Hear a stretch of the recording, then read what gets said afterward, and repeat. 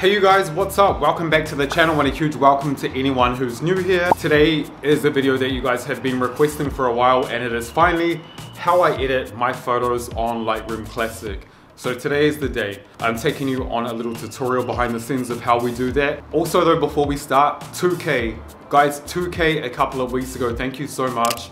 That's insane. Um, we got here so quickly. It's always really inspiring to meet you guys. You guys push me, like keep on going, do more, make more. So you guys are really such a cool group of people. Thank you so much. If you do like the tutorial guys, don't forget to hit the like and comment because it really does help my videos and push it out to more people. And consider subscribing if you are new here. Let's get into the tutorial and I hope you like it.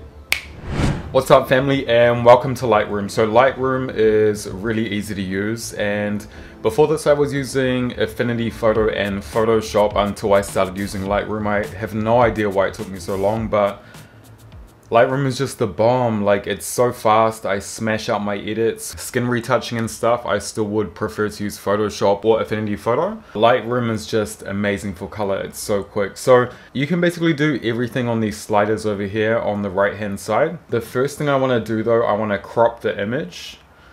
So I can get Alex a little bit more in the center. You guys, it's taking me so long to make this video for you. Um, so many of you, of you guys have been asking for these Lightroom tutorials. So here it is. A few weeks ago, we were shooting at a hotel in Blanes in the Costa Brava, doing their like Instagram and their content and stuff like that.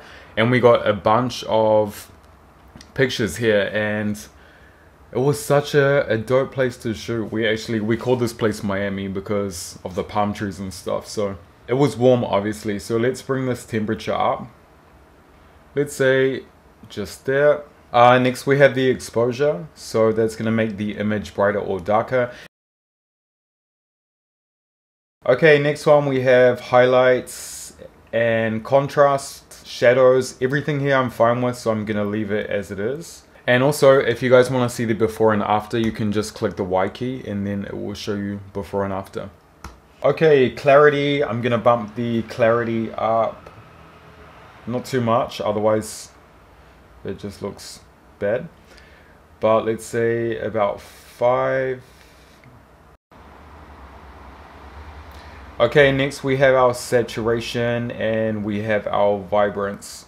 So for this one I'm gonna leave well vibrance we can say there at 2 and I'm gonna bring the saturation up to let's say 31 just so we can get a little bit more color Okay, and next we have this tone curve here. So this is where you see the people normally do a classic S curve. So in this end here, we're working with the highlights. So I'm gonna bring the highlights up and just like very small changes.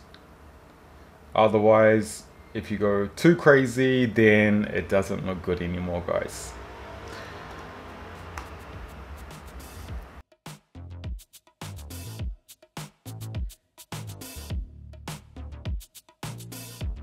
Okay, so that is good with the red. It's like such a small adjustment. The green and the magenta, I'm just gonna leave that as it is. Uh, this is one that I usually like when I'm working with these kind of pictures as well. Because the yellow will make it a little bit warmer. Okay, perfect. It's so easy, that's it. Um, so then I'm gonna go, HSL is really cool and this is something that I used to struggle with in Photoshop and Affinity Photo for something so simple. Just to manipulate one color. For example, if you wanna change the green, you can come over here with it on hue. And you can move the green up and down, so here to the left it's gonna be, well, more of a yellow. And if you go over here, it's more of a dark green for this one because I want to bring the green out a little bit more let's bring this one up to about a 14 and you can do that with any of the colors guys so it's really cool. Also saturation. For Alex's face I want to give it a little bit more orange so I'm going to bring the orange up and you can see just a tiny bit. Let's not turn him into an Oompa Loompa. Uh, 14 Okay, and then, and the same again, you can change any color here. Well, you can saturate any color here. And with the luminance, this is gonna make the colors brighter or you can make them darker. Same here with the green. If you guys see here in the corner, this was such a cool thing about shooting in this place is that in the evening, the lighting, you can have some shadow on the face, but the lighting in the back was like crazy. Just so much light back there. So it was a perfect set. I shot so many portraits there. So I'm going to, let's add a little bit more light. For the green and that looks good.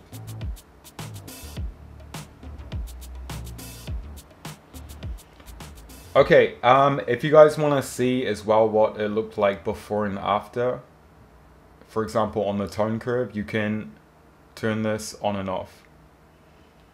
So you can see it basically we've just added a little bit of contrast and it is brighter.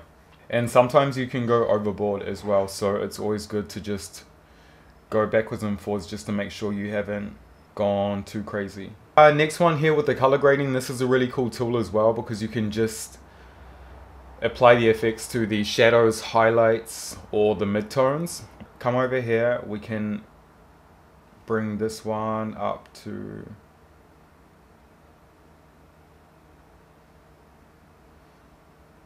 say like a light orange.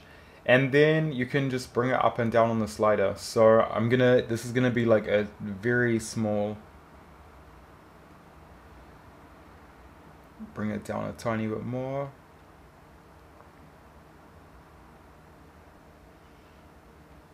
say about this. So it's super subtle, but it gives it that warm feeling in the back. I might actually just bring it down a little bit more. Yeah, perfect. Okay, I am happy with that, so I'm going to leave this picture as it is right there. Um, the next thing I'm gonna do is come up here to mask, and this is one of my favorite tools. I use this one all the time.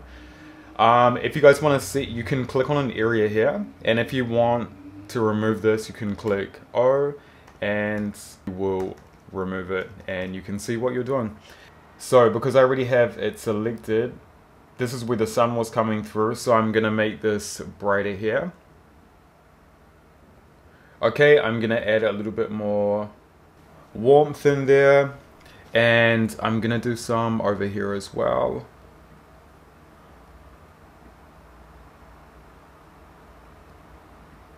Um, I'm gonna do a new one and put a little bit in here as well. So this one we can just bring out the saturation, we can bring the exposure up just a tiny bit. Okay, perfect. And then the next thing as well is for his face. So I'm going to just do a click over here another click over here just to make it just a tiny bit brighter. But we don't want to lose the shadows.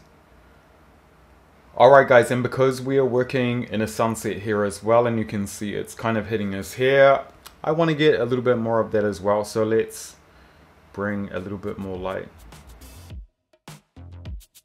to us here Okay, and then the last thing I'm to do are the eyes. Now, in this it's not to stand out too much because it isn't very close, but it's a very good habit to get into when you guys are shooting portraits because the eyes are a key feature for editing.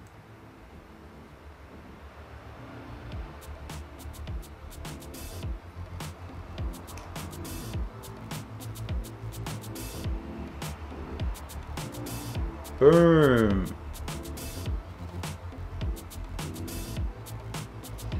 Don't go too crazy. We don't want to make people look like demons and monsters, but...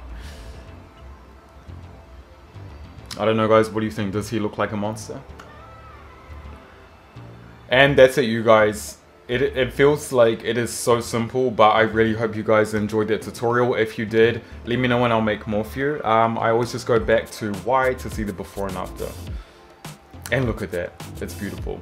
So guys, hope you enjoyed it and yeah, finally we smashed out a Lightroom tutorial.